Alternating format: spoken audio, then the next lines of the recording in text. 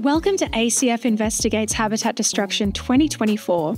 In 2023, a community of 2,000 people just like you helped investigate over 3 million hectares of bushland, and in the process, they discovered about 100 shocking instances of deforestation. This year, we're back and we need your help.